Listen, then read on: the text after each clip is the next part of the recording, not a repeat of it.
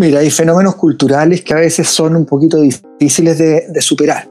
Yo creo que hay muchas cosas, a ver, los grandes enemigos de, la paternidad responsable, de la paternidad activa, uno de los grandes responsables es precisamente el machismo, o, muchas veces eh, no creerse indispensable.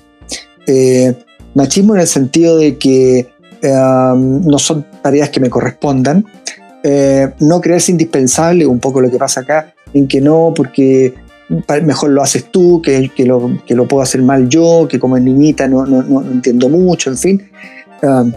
la violencia intrafamiliar, los conflictos em, internos constantes, el estrés laboral, todos esos son los grandes enemigos. Yo creo que aquí se están echando encima un enemigo que no es necesario echarse encima.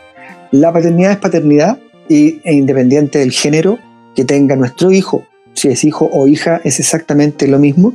Son es un hijo más y por lo tanto ah, el cuidado y los requerimientos que va a necesitar ese chico, eh, sea niño o niña, es exactamente el mismo. Por lo tanto, la forma de hacer entender que esto no es un problema es mirarlo desde la perspectiva de que es hijo y como hijo, independiente de que sea hombre o mujer, representa una responsabilidad y una gran oportunidad para formar una buena persona.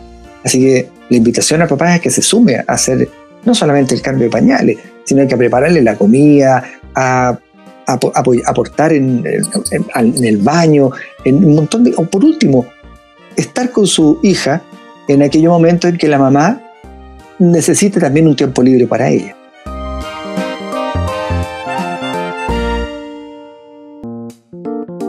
Bueno, ya decíamos antes, eh, muy chiquititos, eh, el mundo de la guagua es, su madre, ¿sí? Y todo lo que vea para afuera es a través de los ojos de la mamá. O sea, lo que es valioso para ella es valioso para la guagua. Cuando va creciendo, eso no se va perdiendo de un día para otro. Eh, es más, va creciendo. Y para los niños siempre la madre es a la que recurre cuando está enfermo, cuando sufre algún accidente, cuando tiene algún problema, más que al padre. Eh, de manera tal que eh, este enamoramiento que existe, ¿no es cierto?, de parte del el hijo hacia su madre, que lo podemos llamar apego, le podemos llamar eh, de muchas maneras imprinting, etcétera, pero que existe, obviamente puede verse afectado muchas veces cuando hay manifestaciones de cariño con otra persona distinta a él. Lo importante ahí es involucrarlo a él también. Entonces, por una parte es importante que el papá dé, demostraciones de afecto a la madre sin ninguna duda. Y si el niño siente en algún momento que eso no le gusta porque se puede sentir amenazado en el sentido de que lo van a desplazar a él del afecto, es inmediatamente después involucrarlo a él en esto.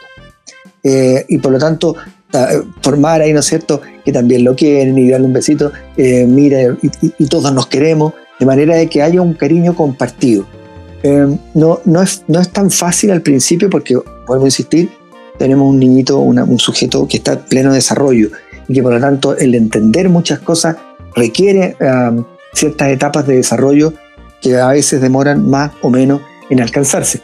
Pero lo que sí tenemos que hacer es incorporarlo. Por ejemplo, mm, nace un, hermano, nace un hermano y como le hay que darle pecho, me voy a otra pieza a darle pecho y dejo a mi hijo con otra persona. Entonces el niño rápidamente siente que lo están abandonando por, por el otro. Y obviamente va a haber una reacción ahí. Entonces no, no hay que abandonarlo. Hay que llevarlo que esté junto con la mamá que está dando pecho y que participe de eso, que le traiga los pañales dentro de lo que es su edad y de las posibilidades que tiene naturalmente, pedirle que se incorpore, que participe, que se involucre con el niño. Lo mismo en el caso de los papás, que en este caso, ¿no es cierto?, las manifestaciones de afecto, involucremos a nuestro hijo. Ya tendremos momentos de intimidad también, pero cuando esté el niño presente, involucrémoslo a él también en estas manifestaciones de cariño.